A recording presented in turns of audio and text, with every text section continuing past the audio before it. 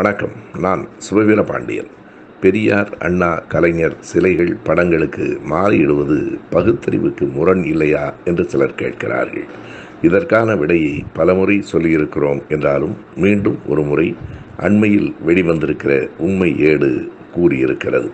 நாம் சிலைகளுக்கு மாலையிடுவது அந்த சிலைகளை அழகுபடுத்துவதற்காகவும் அதனையும் ஒரு கருத்து பரப்புரை வழிமுறையாக பின்பற்றுவதற்காகவும் தான் ஒரு சிலைக்கு மாலையிட்டு ஐம்பது பேர் அறுபது பேர் கூடி நின்று முழக்கமிட்டால் அந்த பகுதியில் போகிறவர்கள் வருகிறவர்களின் கவனத்தை திருப்ப முடியும்.